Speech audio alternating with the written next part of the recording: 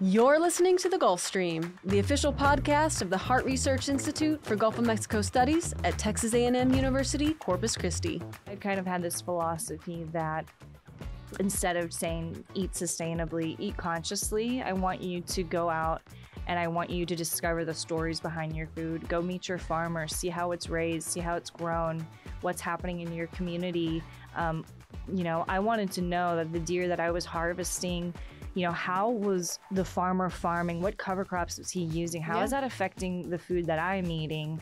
And really starting to kind of uncover the layers of of the natural world that from from where all of our food comes from. And I think the more that you start to really dive into that, the better decisions you're going to be able to make for yourself.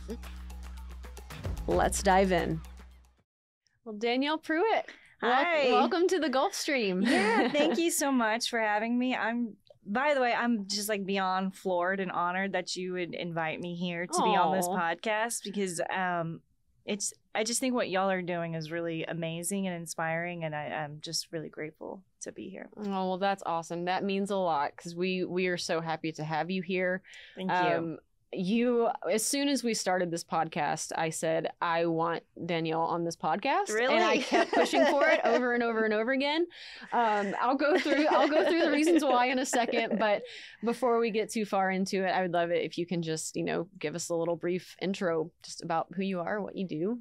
Yeah you know it's really hard to describe what I do for a living because I'm still trying to wrap my head around how how I get paid to do this. But I tell people that I have the coolest job in the world because I get to travel around hunting and fishing and finding interesting ways to source food and tell that story and and cook with that food, which is like a dream come true and that's really all I ever want out of life is, sure. is to be able to do that. Um, but um, but really, I'm a content creator for MeatEater in the wild foods category. So I really specialize and dive deep into understanding um, and sharing better ways that people can take care of their harvest, um, whether it's a big game animal or a fish, and teaching them how to get the most out of that.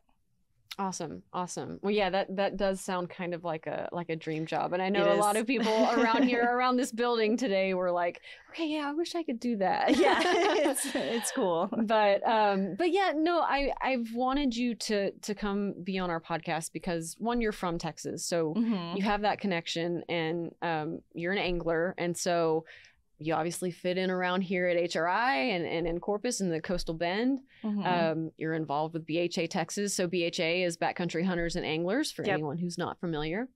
Um, you're a supporter of CCA. Um, we've had Pat Murray in here sitting where yeah. you're sitting. So, yeah.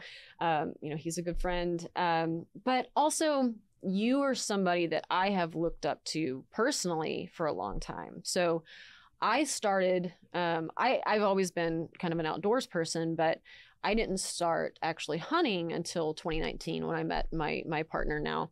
Um, and he he you know kind of introduced me to that world and mm-hmm. but I was still really looking for um, you know a female role model that's that's doing these activities and that's that's difficult to find when you're looking at an activity like hunting right mm-hmm. they know it's it's getting a little bit better but so I I found your your Instagram and and you know saw everything that you were doing and the adventures that you were having, but it also really inspired me to get more involved um, in the the cooking and you know being hands on mm-hmm. and you know seeing really my food from field to fork. So yeah, well that's cool. I'm I'm uh, humbled by that. That's, uh, that's that's cool. You know, it's an emotional thing, but it's a beautiful thing too to to see your food from from oh, absolutely. Fork, so. It's um it's a life changing experience. I remember the first time I did that, I just realized like there was no way that I could go back. Right. Yeah. Right. Right.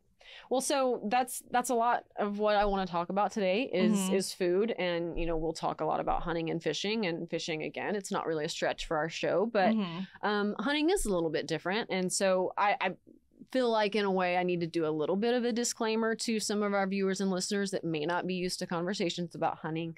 Um, you know, it can be a divisive topic to some people, but um, I think it's important to note like legal and ethical hunting it plays a vital role in, in wildlife conservation and mm-hmm. so we'll be talking about that and gardening and foraging and all of these other cool things that you do and how it can connect a person not only to their food, but you know, to land and you know a more sustainable lifestyle. Mhm. So, um, I would just like to know, like, what is it that you love so much about you know hunting, fishing, all of this? You know, there's so many ways of looking at it. Um, the reason why I initially got into it, well, my husband introduced me to the outdoors. Um, actually, our first date, we he took me to a gun range to sight in a rifle, and then our second date, he cooked me venison backstrap. Okay. And I, re- which is kind of kind of a cute little thing. Um, but I remember when he came back, he was like, "Now this is really really special meat here. This isn't like I just Mhm. went to the grocery store. Like this is special." Um, and he made a, a, a point to that, and I thought that was really interesting. And so as we started dating.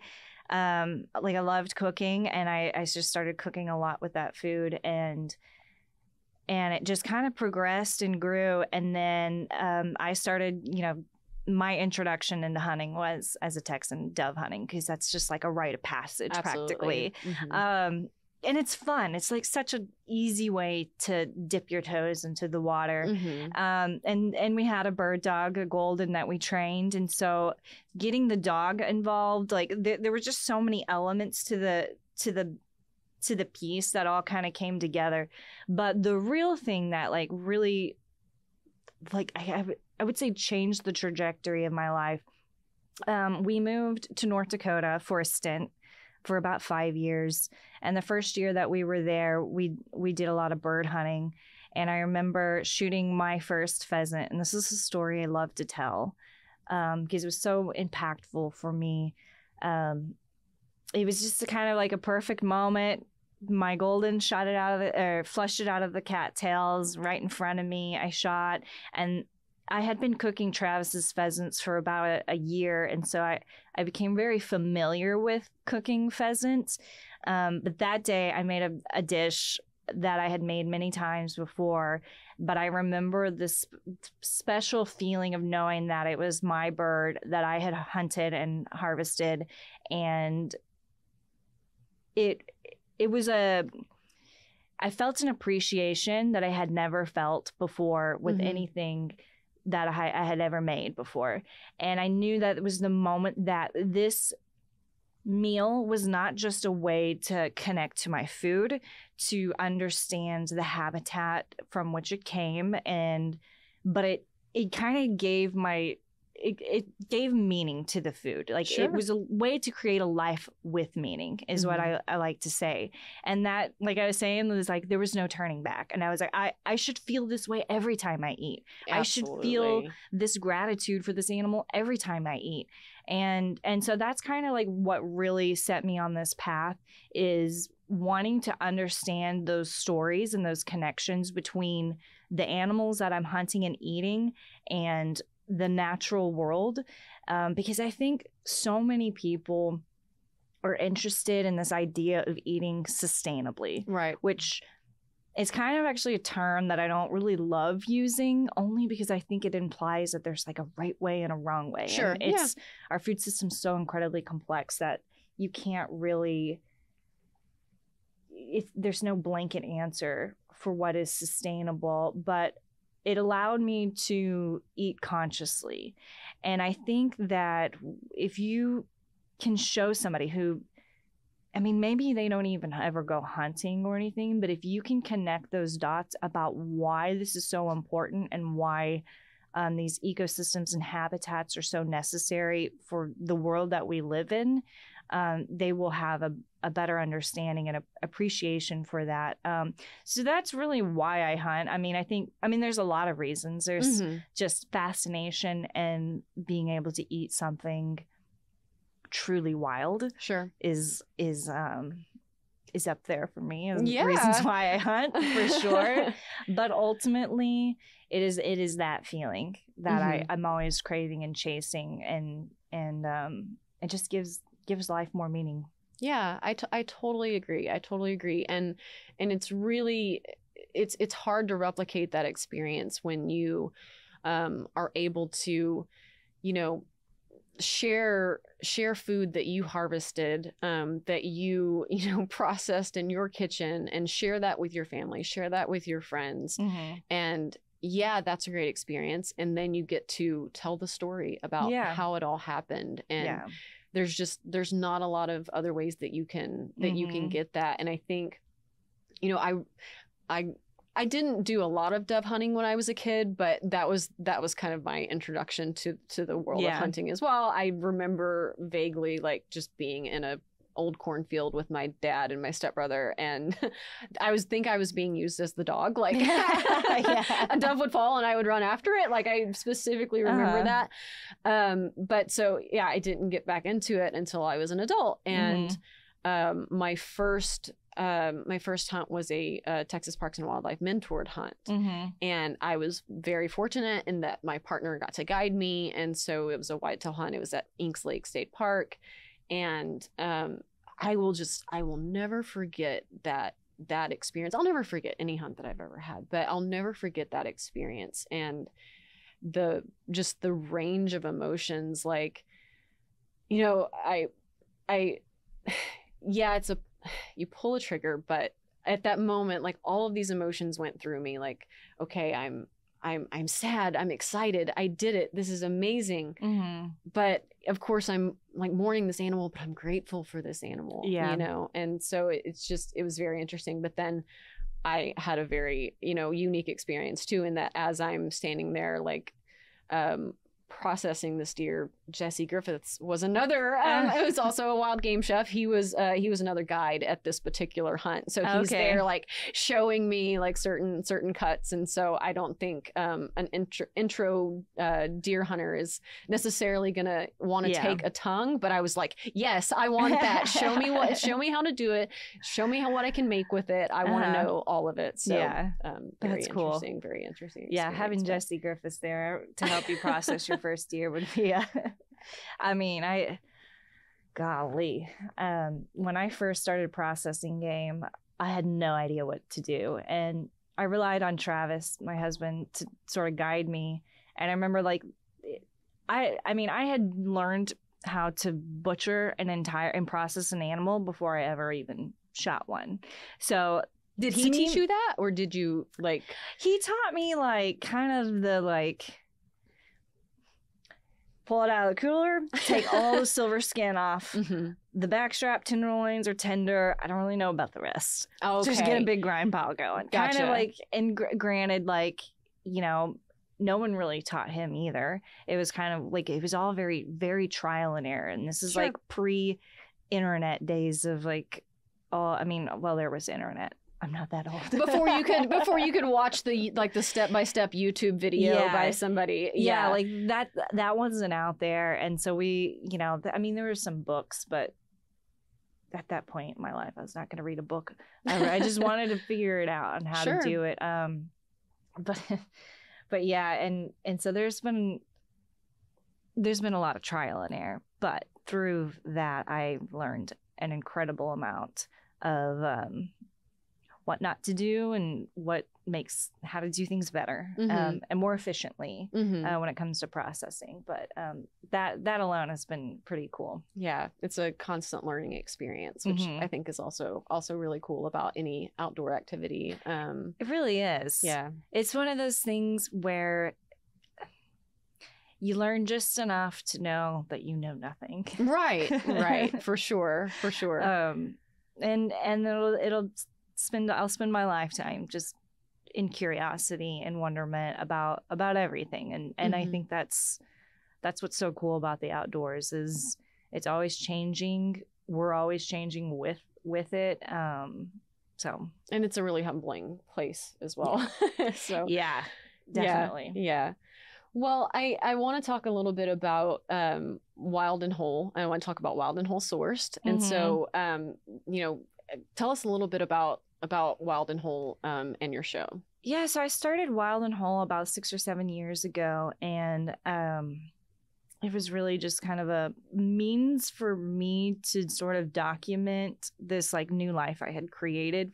And you know, after um, about a year living in North Dakota, I decided that I spent a lot of time like learning about our food system, and I kind of didn't like the way that I was um, eating meat Mhm. or like w- my mindless approach. Mhm. And once I started hunting, it really clicked for me. And so I kind of made this this pact with myself and with Travis that I didn't want to buy any more meat from the grocery store.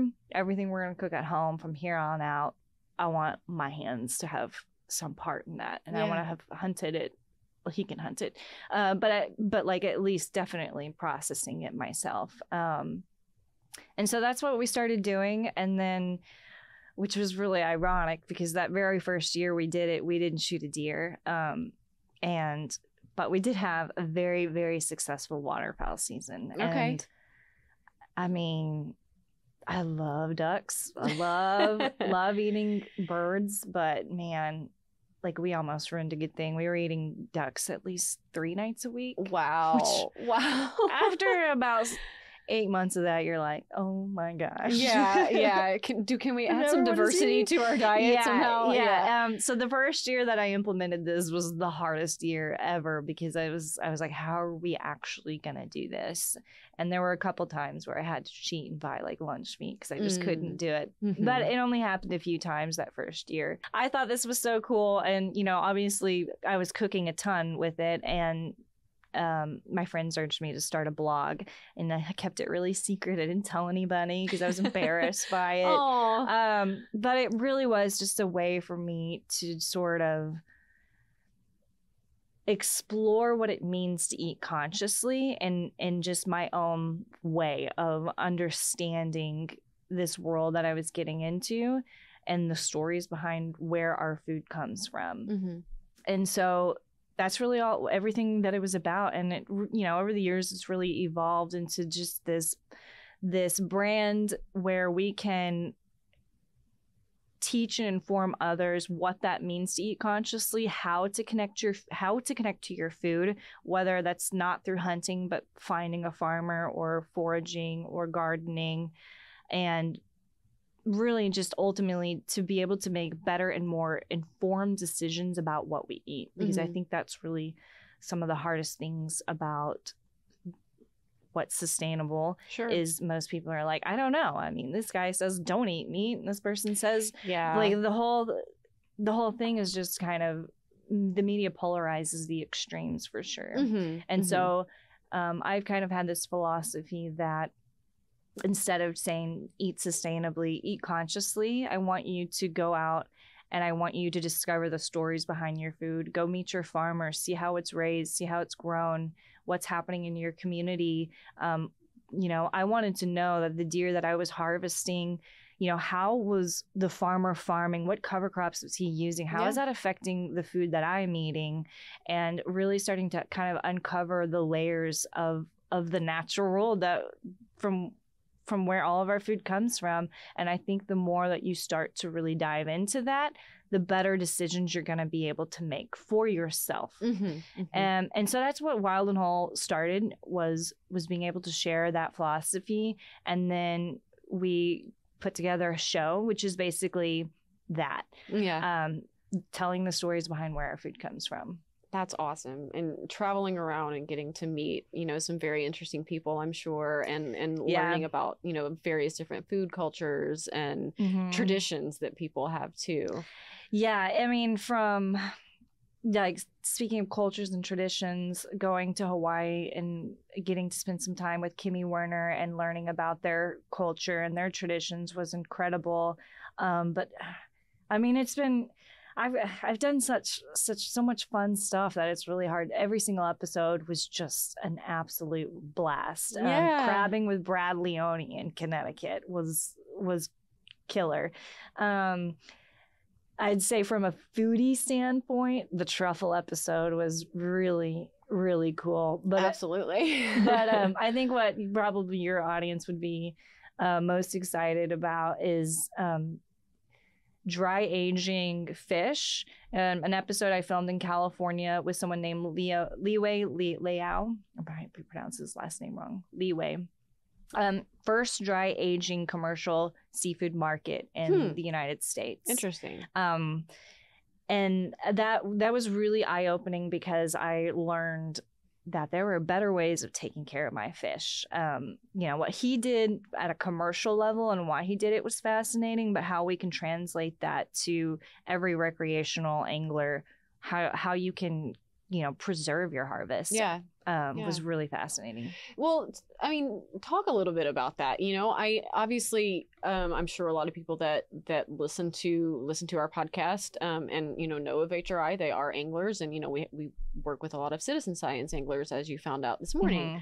Mhm. Um, but you know, and they probably, um, and a lot of folks around here are just kind of set in their ways, and you know, they're going after, and that's fine, of course. Um, but they're you know going after a certain species, and you know, this is the way that we've always done it, and this Yeah. is the way that we've, these are, this is the way that we've always filleted, and you know, we might, Mhm. um. You know, uh, I, I saw an Instagram post of yours the other day. You had redfish throats, and I think Oh yeah, that's something probably not a lot of people would think of. So I would Uh-huh. like to just, you know, talk about that dry aging process and how can, um, you know, recreational anglers, yeah. you know, Well, for those listening, and if you're like, what is she talking about? Dry aging a fish? Um, very similar to beef. mhm. You know, you almost all beef that you buy today has been aged at some point. Now, how long that's been aged is is different, but the purpose of aging, say like beef, is that you're you're slightly dehydrating it so you're intensifying the flavor but you're also tenderizing it. With fish you're doing something a little bit different and you're allowing that that fish just a few days to oh gosh what's the right word to sort of firm up the texture the actual texture of the fish meat itself Mhm. improves um, and then you are getting an enhanced quality flavor of the fish itself which doesn't like there's a difference between more fish flavor doesn't mean it's fishy right. it means it tastes more like the fish Mhm. um, which i think is hard for people to differentiate Sure. um, and then another benefit of dry aging fish is if if the skin is on, which this when you dry age, the skin should be on, scaled, scaled, gutted, um, the skin on. Um, it allows it to breathe just a little bit, but the outside of the skin dries. So when you cook a fish fillet with the skin on, it gets really beautifully crispy. That Just sounds wonderful. unbelievable. Yeah. Um, and then perhaps, especially at a commercial level, I think one of the greatest benefits that I learned was that this allows um, commercial fishermen to extend the shelf life of their fish because, you know, how, how many times do we go somewhere and we're like, I want that fish caught this day? Right. You know, like right. fresh is best. And so he's really challenging that notion and that, you know, aging it is is increasing the shelf life and there's a lot less waste in the Mhm. seafood commercial industry. Um, but as for you know the average at home angler, my biggest takeaways, which um, maybe some people do or don't do, um, you got to bleed your fish out. okay. You that's an extra gotta- step that most people don't take. It just goes straight to you the cooler and that's do it. it. And Yeah. the way that I like to do it, and especially with redfish, because their gills are are hard as as they're Yeah. they're tough to cut. Yeah. Um, a pair of wire cutters. We always keep a pair of wire cutters on the boat, and the easiest way to to bleed out a fish are to cut the gills, and um, you know, put them on a stringer, leave them in the water, Mhm. and and let them totally bleed out. It sounds really cruel saying that out loud, but it it you'll see a dramatic difference in the quality of the meat and Wow. the color of the meat.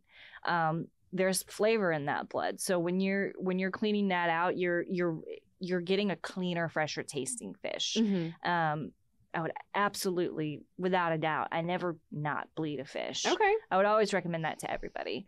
Um, and that's the simplest thing you can do to just get a better piece of fish. Mhm. Um, if you wanted to dry age it, you would want to scale the fish.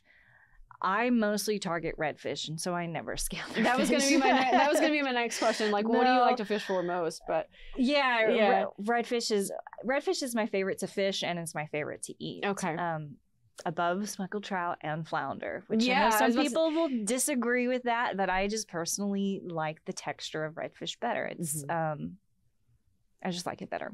Um, so I don't I don't do that. But if you know this kind of technique would be great if you're a snapper. If you fish for snapper, like this would be an I dry aging would be ideal for that. Um, but you would basically gut it, scale it, pat it really dry, and then leave it in your refrigerator for a couple days, and that's it. Okay. It's as, it's as easy as that. Which sounds like oh my gosh, it's gonna be gross. So like we I caught a fish at, early in the morning.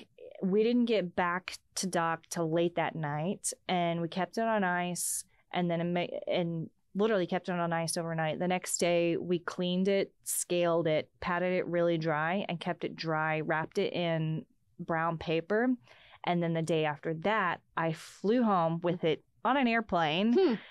And then I hung it in my fridge for two more days. And then I I filleted it and ate it. Interesting. So if I were mean, you a little nervous about that? Like, okay, I fl- no, okay, it smelled it smelled, Smelled fine. good, yeah. No, I mean if you if it smells bad, there's something there's wrong. something wrong, but, But, not, um, it it smelled fine, and it, and it was so so good, and um, it really changed my perspective. Um, another tip that I would say that I do now, that I know about this, even though I don't dry age redfish the traditional way that you would, I always keep it really dry. So I've always thought that you're supposed to like rinse fish with water, right? Right. Like Mhm. everybody does that. Mhm. And I used to always do that. And water can be the enemy for meat, um, especially like especially fish, yeah, especially fish. It's a great get real mushy. breeding ground for bacteria, Mhm, mhm. and and can cause more fishy smells from that. Um, so when we fillet a fish. I don't rinse it off because it's already been bled out. It Mhm. looks really clean. Mhm. I take uh, like a paper towel and I just like if there's like a, any a scale or something on it, I just pat it really dry, clean it, and then um, because there's no skin on it, it dries out easy in the refrigerator. So then I'll cover it in the refrigerator, and then I'll leave it there for a couple a couple days or until I'm ready to eat. Um, but yeah, that's my process. That's really cool, and I think I, I'm definitely going to try it. We're we've been really wanting to get out and and go after some mangrove snapper, um, just you know, in kind of inshore Yeah. in in canals and stuff. So, Mhm. um, the next time that we do that, It'd be perfect. yeah, Yeah. So Liwei did a Japanese technique where he would take a, an extremely sharp knife and actually cut the scales off. Um, but you definitely don't have to do that. Your regular old fashioned fish scaler is is fine. okay, all right, Yeah. cool, very Yeah, cool. give it a try and let me know what you think. Okay, I mean, if anything, there's so many times where you go out fishing and you're on the water all day and you're tired and you come back and Mhm. and you know you've got this burden of of taking care of of it not ha you know like simplifying that process of saying okay i'm just going to gut it and Yeah. you can wash out you know that cavity portion um and scale it and pat it dry and leave it in the fridge it's like just to me alone some of those little things like make your life easier for sure. and for so sure. you can wake up a day later, two days later, later when you have time to really focus on preparing that fish in a in a in the way that you want. You're Mhm. not like exhausted. well, and you're doing that fish justice too. Um. Yeah. by putting a little extra time and Yeah. and care into preparing it. So. Mhm. Um, I want to. I w- definitely want to talk about, um, you know, some other aspects of the show, like foraging and and stuff like gardening as well. Mhm. Um, but before we do, before we leave this topic, um, I think it's really cool. Um, some of the things that yes, you do on the show, but also um, just you know on your Instagram, you have a lot of uh, videos um, about just making use of various different cuts and Mhm. and making use of different animal species, things that people typically would shun or throw away Mhm. um like even even something down to like a shank or a Oh, skirt yeah. steak or um fat you know that's most often stuff that people throw away that they don't want so yeah. i would just like to hear from you like talk about um you know if somebody thinks an animal or I, I, like wild turkey is a really good one. Like my family for some reason um when i started hunting turkeys they were like oh i don't like it. It's just it's it's a weird I- flavor. And i'm like that's- how? Why? It's the best. Are you kidding me?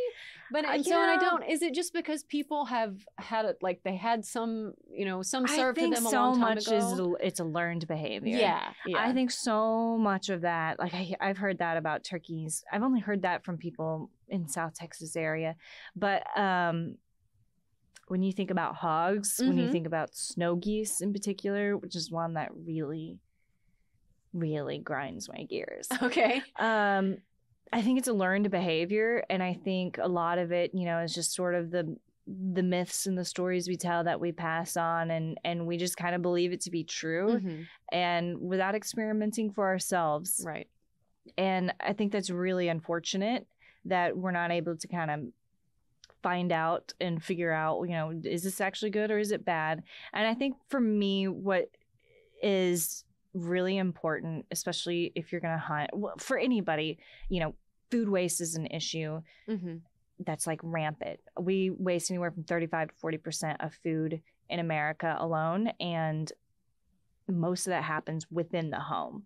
And for hunters and anglers, I think that it is our responsibility to, I mean, not only honor the life of the animal mm-hmm. that died for your meal, but the fact that we are taking something out of our resources for ourselves, um, we deserve to be using it mm-hmm. and not letting it go to waste. And and I I mean I'm I don't utilize every single tiny piece of everything, sure, but I tough. I use a lot. Mm-hmm. A lot. When we go fishing, I I save every fish head. I, I take the you know the meat, the fillets, the throats, uh, the head, and the the carcass all get made into fish stock either awesome. either for a seafood bouillabaisse um, some sort of seafood stew in the wintertime, which is like three weeks out of the year. Um, but after that, I give it, I make it every every time for my dogs who love it, and I oh perfect. I, I attribute her um her um her health to to getting fish stock regularly. Um, but I don't like letting things go to waste, yeah. and um, I think that's an issue. But as far as like the stories we tell about why something's not good, you know, like I think I think there's an issue when it comes to an animal and numbers. Mm-hmm. When something becomes labeled as invasive, when something becomes labeled as um, overpopulated, abundant, mm-hmm. like a snow goose, that are you know we we do these things, have our spring conservation season in the name of conservation, and yet for some reason, just because there's so many, we just decide to label them as they may not be good. Sure. Yeah. And it's just it's why why do we have that perspective? Um, I, I, don't understand, and um, part of it, I uh, frankly, I think it's just being lazy. And I'll, I'll be honest. I know. I, will be. I'll be honest. I, I, yeah. I, do think that you know you shot sixty geese. Oh crap! Am I really going to clean sixty geese? Yeah. You damn right you should. you, you should. took the time. You put forth the effort. You should. Um, yeah. But yeah. but yeah so i mean the the stories we tell about game and their flavor i think a lot of that is learned behavior. And yes i do think some of it comes from poorly processing it mm-hmm. or or um, not cooking it right. Sure sure.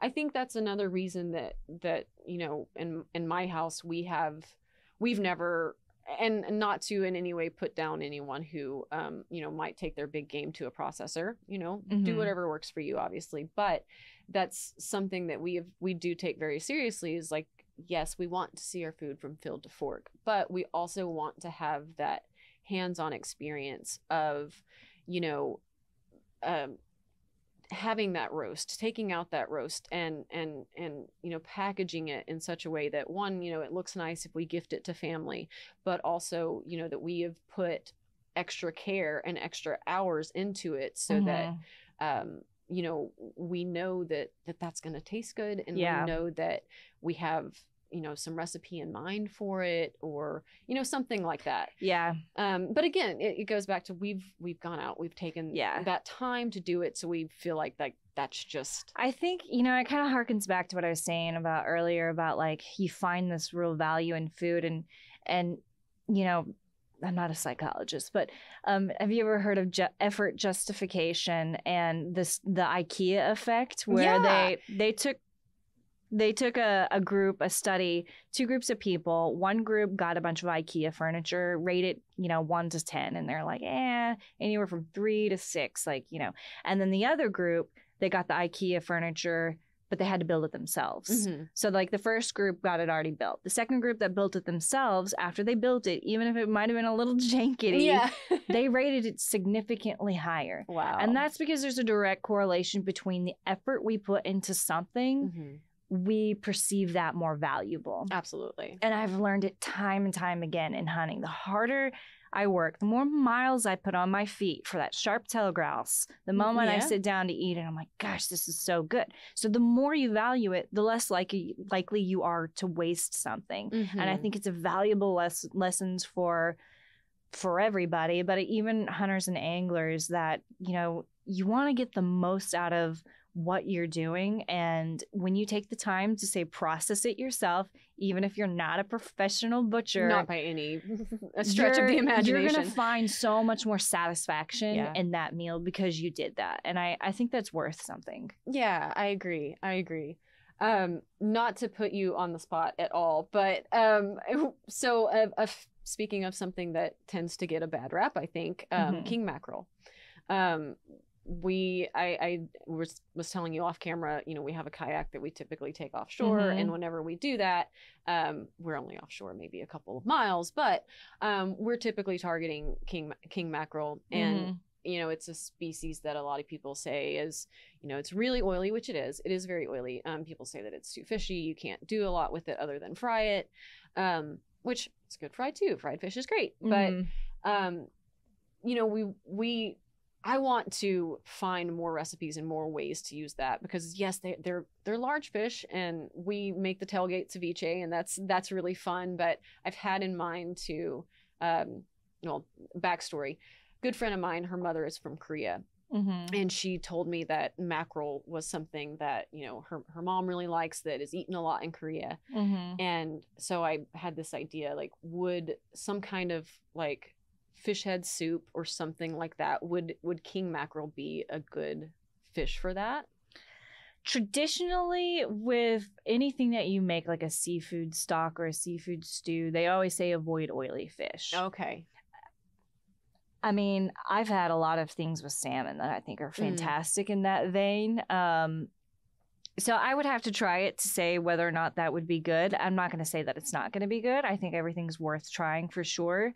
Um, I I don't have a lot of experience with mackerel. It's not something that we we generally fish for. And granted, everything that I cook is something that we hunt or fish. So if I Mhm. don't fish for it, I don't have a lot of cooking experience with it. But one thing that um when we were in California, Liwei had a bunch of smoked mackerel and he was he was talking about the same thing about how people frown upon mackerel all the time and a lot of it's cultural mm-hmm. um definitely cultural um but he had smoked mackerel and it was amazing. It was awesome. Yeah.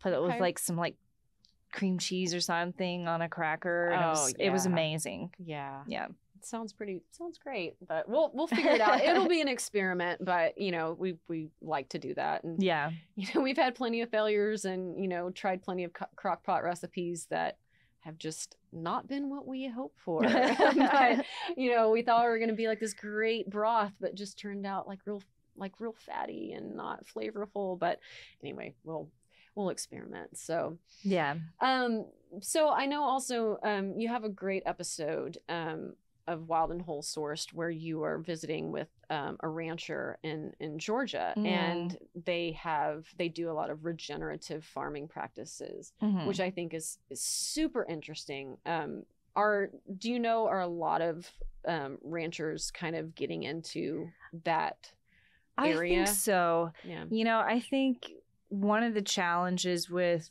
regenerative is it's not scalable. Mhm. You know, we've created with agriculture, you have an experience in agriculture. So, as you know, sort of the history of the way we farmed is that, you know, this centralized way of doing things and increasing and scaling up has has been kind of what drove drove uh, the market and how we kind of got into the problem where we're at with factory farming Mhm. and that's one of the harder things with regenerative is you can't take this you know abc formula and stick it everywhere so white oak pastures in georgia um, the farm that in the episode she's talking about is for people listening uh, a regenerative farm that has pretty much a closed loop system where they raise all the animals raised on their pasture, whatever is not used for meat or human consumption.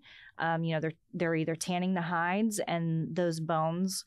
What they can't sell bones for stock and visceral waste gets composted. And that's huge compost things, and yeah. then that compost gets aged like a couple years so you can imagine there's quite a few layers to their mm-hmm. compost system. Turns into beautiful they, soil. They, yeah, they they then churn it out and and spray it back out onto the ground.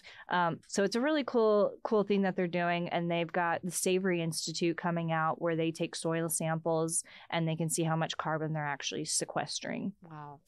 Granted, they get 43 inches of rain a year. Yeah. You know, and it's fascinating that I'm like, how can you can't cut and paste that everywhere? Sure. Um, because a big part of the way they do that is that rotational grazing, um, that high animal impact, and then taking that animal off to to regrow over and over again. Um, you know what that pattern looks like is different in other places but that's not to say that you can't do that in other places.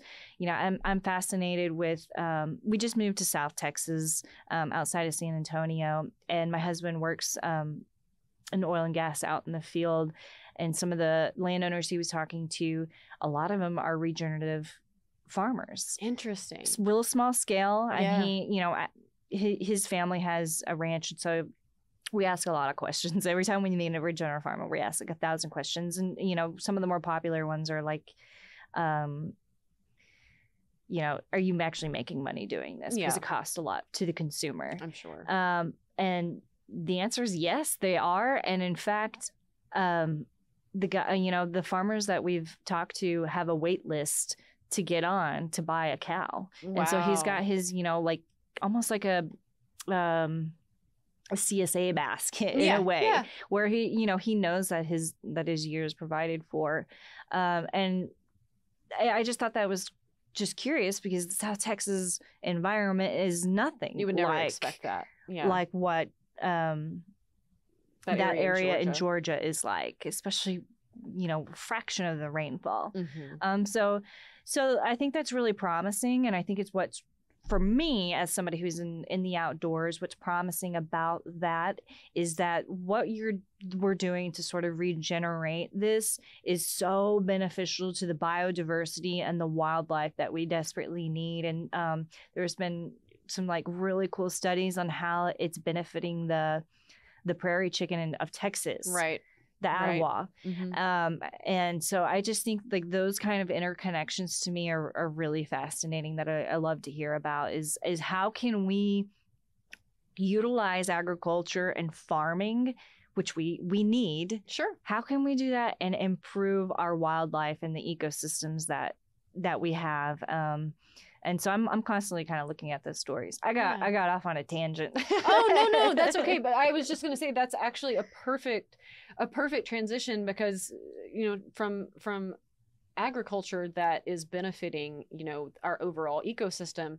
Um, I think that's a really cool thing that oyster aquaculture is now yeah, doing. Yeah, yeah, yeah. Um, and we you know had the opportunity to sit with uh, Brad Lomax last night, and he's he's telling these stories about how um, you know crabbers just love being around his farm mm-hmm. because yes he's growing these farm grown the first farm grown yeah. oysters in texas but it has spawned you know so much other life around there yeah and i think that's that's a really interesting thing and i mean obviously we we know that you know oyster reefs are are vital to um, to a healthy ecosystem as it yeah. is. but it's really neat to see that an oyster farm can have some of those same same benefits. Yeah. So hopefully hopefully more more and more of that will, you know, become part of the Texas landscape. Yeah. Um, and I think that really starts with consumer education.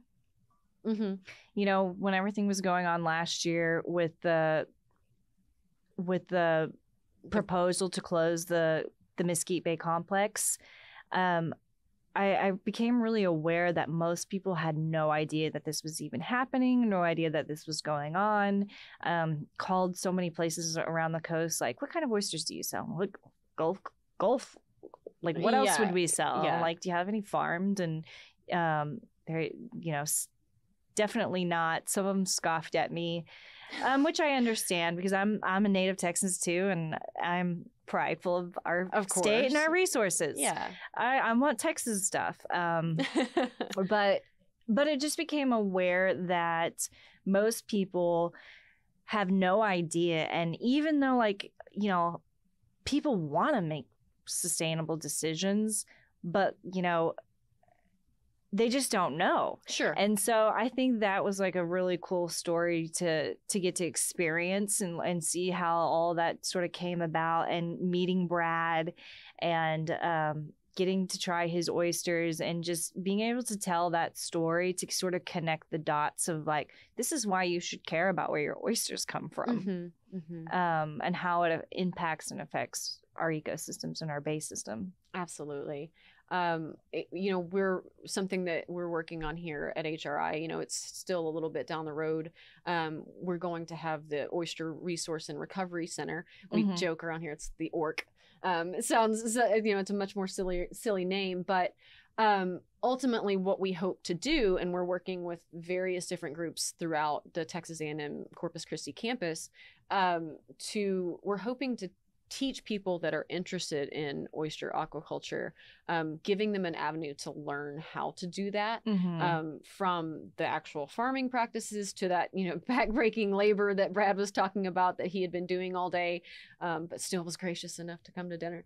Um, but from that to you know figuring out a business plan and stuff like that, because Mhm. I think it's it's I can imagine that it's something that a lot of people would be very interested in. They just Oh, don't yeah. know how on earth to get started yeah. with something like that. Yeah, I So- totally agree. I think that would be really valuable for for a lot of people. I, I think that's it's kind of a new frontier for Mhm. us here, and I think it's exciting to watch grow. But that's definitely a resource that's much needed. Yeah, for sure, for sure. It's it's got a, a lot of opportunity and a lot of growth opportunity. So we'll Mhm. see how it goes. But yeah, um before before we leave before we leave this topic i want to get into bha and, and stuff like that but Mhm. um foraging um is something that i think is, is super interesting um how did you get into foraging oh, just you know, he spent enough time outside looking for food. what is this what is this what is this he spent enough time outside. yeah Uh, you, I'm. I also have just a very curious mind in general. Mhm. Um, I mean, I'm not a, I'm not a, I'm not in the weeds, so to speak. okay Um, there's a handful of things that I really enjoy. I mean, there I, I've learned to pick up on the native plants growing in the backyard um, that I could just pluck and eat. Mhm. Um, but and then there's some more fun things that everybody loves, like dewberries. i was about to say dewberries if you're from texas you Dewberries. gotta know about Lo- dewberries love dewberries, and it's Yeah. just something really fun. This past Easter, um, we took my nieces and nephews out and went found the dewberry patch, and I, I, I- I just love that.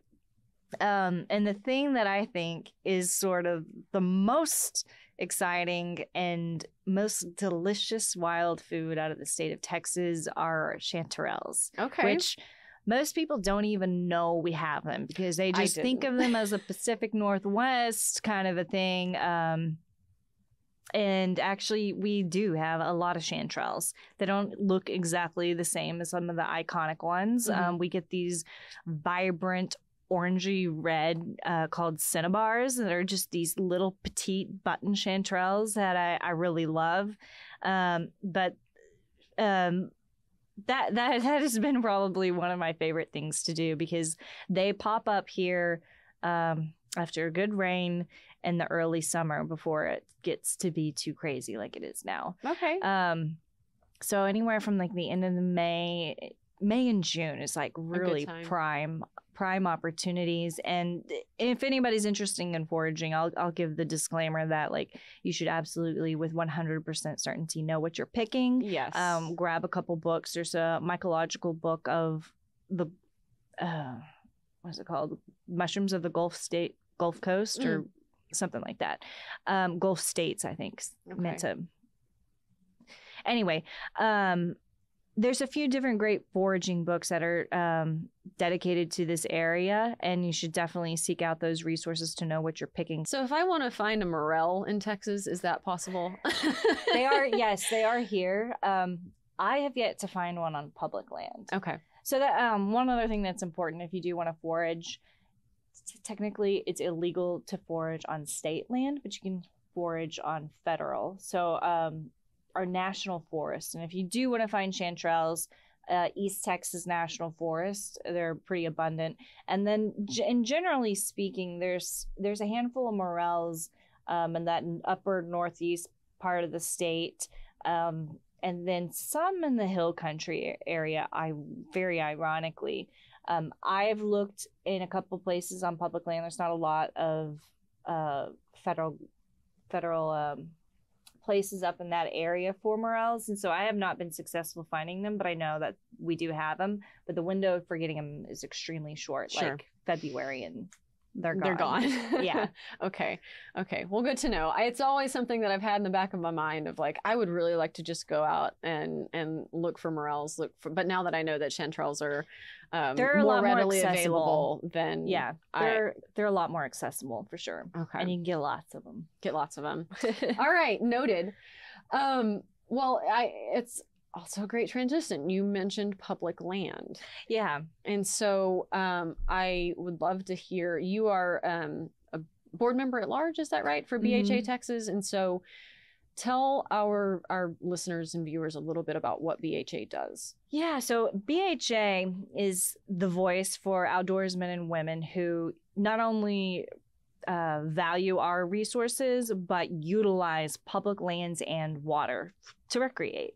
And so we're we're sort of the the voice for that and to ensuring that public has access to those places and obviously protecting them um, from from losing those places. Um, so I think it's an, an incredibly important organization, um, especially for for so many people who don't have hunting lease or you know a ranch or or any of those those outlets hunting can be really expensive um, I think it's incredibly important that we have these places that people can go to and access that is that is our right, mm-hmm. um, constitutional right to have. And, you know, like I said before, I think getting people involved in the outdoors is such a key to fostering that relationship with nature and in raising future generations of conservationists. So having these public spaces i think is incredibly important Absolutely. And I think that that's something that a lot of people, um, whether they're coming to Texas, whether they've lived in Texas their whole lives, you know, they're surprised to learn that Texas does have public land. Yeah. Um, we have, I want to say, over a million acres, whether that's, you know, state parks to, mm-hmm. um, you know, state natural areas, but also we have public hunting lands. Yeah. Um, you just have to get the little booklet and yeah. know how to find them. Yeah, you definitely have to do some homework. Mm-hmm. And I think that can be put off a lot of people but there's also as we continue to grow in population this growing pressure um, that's that's necessary to to kind of do your due diligence as a hunter. Um, but i think our public water yeah. I mean our coast exactly. i mean to me that's just sort of the most accessible way for people to get outside. And it's definitely something that since moving from north dakota where we just had like vast amount of land mm-hmm. to come in here, um, we really sort of shifted and adapted to what Texas has to offer and have really embraced um, just how cool our coast is and, and everything that we can do here. Yeah, for sure. Um, um, I something that's said around here a lot is that and Greg Stunz he he says it pretty often is that Texas you know is often thought of as just a state with a coast mm-hmm. as opposed to being a coastal state which mm-hmm. we are. We're we're a coastal state, and so it's it's um, really important that people recognize, you know, how what mm-hmm. a treasure that really is. Yeah. And you know, I don't want people to think that when we're talking about public lands, and even when BHA is talking about public lands, we're not just describing those lands as a you know something that you can use um, for whatever consumptive means you don't just have to use them for hunting and, and fishing yeah. they are your lands to yeah. go and be outside and enjoy. Yeah. So yeah, if you want to bird watch, whatever whatever hike you Yeah. know their forage Yeah. um yeah and so it, it's been great to be a part of bha and honestly as a, as a board member at large i'm just kind of there to sort of fill in the gaps and help where i can and really the heavy lifting is the rest of our board members have are just have been amazing and they're incredibly hardworking and incredibly passionate and it's been really cool to see um, what is relatively a new chapter here really grow and and thrive. And this past year we received the um, for national bha we received chapter of the year award which is Oh, really cool. which is really cool um, this past year we raised uh, money and put gave $8000 to tpwd scholarship funds we just recently um, did a project for pronghorn habitat up in the panhandle called the rita right. blanca um, so we're always kind of doing various conservation projects like when cca had a cordgrass planting Mm-hmm. you know we we love to get involved with other conservation organizations um, we were really active and vocal about educating public um, on conservation issues like the oyster um, fairfield state park Right. um, some of those issues. So we've we've been very vocal and very active, and I think one of the great benefits of BHA is that it really helps create a community, Mm-hmm. especially since there's a lot of adults coming to hunting for the first time ever. Um, people will always ask, like, "Well, how do I start? How do I get into it?" It's just there. There's a lot of information that you need to know, and BHA is a really great resource to get plugged into a community and find a mentor and to get some guidance on where to go. How do we how do we utilize our public system? Mm-hmm. Um, how do we read that that booklet? Um, yeah, exactly. WMAs and and because there's a lot to know. Um, so so that's um one thing that I'm really proud to to be able to represent BHA and and for what they stand for. That's great. Um, Yeah. I I've been a BHA member since I started hunting because I just I really believe in in everything that BHA does and Mhm. and especially like you said that community aspect. Um, and I think that it's it's really important for for new hunters, new anglers, um, just new outdoors people to have that because it can be a very intimidating thing, especially for women. You know, Yeah. whether you're um, you're interested in getting into archery or um, I remember the first time I walked into an archery shop and uh, like it was the one day that M- Emmanuel, my partner, couldn't go with me, and he was like, "Okay, they need to like you know." Like size it for you and stuff and i was like i don't i have no idea what to ask i don't know what to do that Yeah. stuff can be very overwhelming It is. and so it's really it's it's really cool to have um, Yeah. that community that is there to help and isn't going to judge you and you know yeah. um, is excited to help so how can how can people get involved with bha if they want to learn more Um, there's various chapters throughout our state, and um, what's cool is uh, every month in certain cities, I think like Dallas and uh, Houston, Austin, um, have pint nights, so you can go grab a beer and and just kind of hang out with with people. And um, one of our biggest events of the year is coming up in September, kind of coming up. Um, it'll be here soon it'll, it'll be here. soon. Yeah, it's called uh, Conversations on Conservation. I always have a hard time saying that. basically the same word yeah yes. Um, and really, you know, that's that's a fun event where you know there's food, drinks, raffles, prizes, and all that. And then there's a, a panel discussion that we talk about key issues in within Texas on conservation. So last year, Pat Murray was there, Alvin Dedeaux, Ben Masters, Jesse Awesome. Griffith. So it Mhm. was it was just like a really cool and insightful to hear them kind of speak on on behalf of what's going on within the state. And so this next year, um, I think CCA is going to be one of our partners um, and some other organizations too. So we're looking forward to that. Very cool. And I know I've seen that they have, you know, every now and then like a public lands cleanup event or something where people can go every get their year. hands dirty. Yeah, there's there's a lot of public land cleanup. Um, there's a there's a big one annually. Um, I want to say it's in April or May, which is always really hot. Yeah, yeah, yeah. um, but we do we do other other cleanup like river cleanup too. Mhm. So We've covered we've covered a lot. yeah, we have.